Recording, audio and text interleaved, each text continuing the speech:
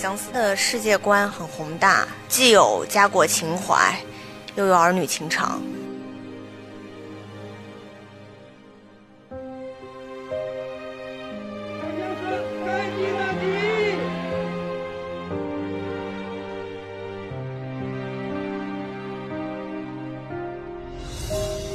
我们有涉及到三个地域，这三个地域的不同，我们也做了比较大的区分。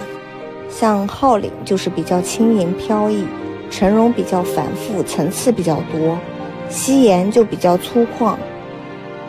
然后另外像赤水、涂山这些氏族，嗯，它其实是在地貌是属于这三个国家的。我们更多的去贴合这个每一个国家的一个特征，在这个族徽和家徽这个部分，包括旗帜上，我们都有一些很明确的、很明显的一些区别。西燕国是一个北方的部落国家嘛，音乐还是以更庞大为主。我们从交响乐里边用了很多号角啊，还有很多人声在里面。清水镇是一个世外桃源的感觉，那时候的音乐都是偏轻松、更灵动一些。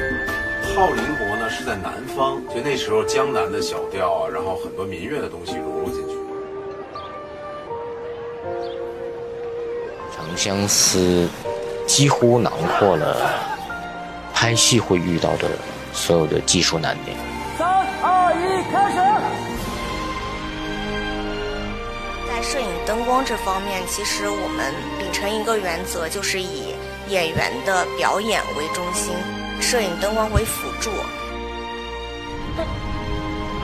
但是我们有一些宫廷的场景，我们还是以对称的这些构图去走，会显得大气庄重一些。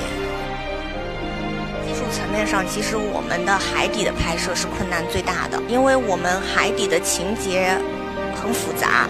所以我们选择了焊拍，我们得考虑灯光怎么去模拟啊海底下的折射，然后呢还有关于演员的那个漂浮感，怎么去实现他们在水里的那种感觉。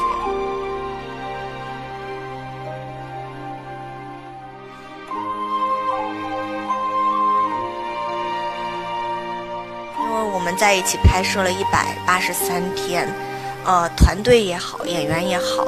真的是一个非常纯粹、非常有爱、有趣的剧组。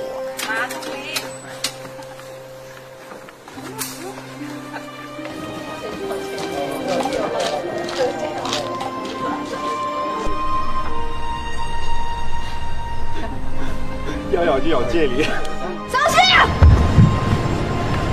小心！再见，朋友，亲爱的，我就这样。于我个人而言，我比较想让大家体会到《长相思》当中的善意。希望观众能体会到《长相思》里各种各样的人生，各式各样的冷暖，然后汲取一份属于自己的感动。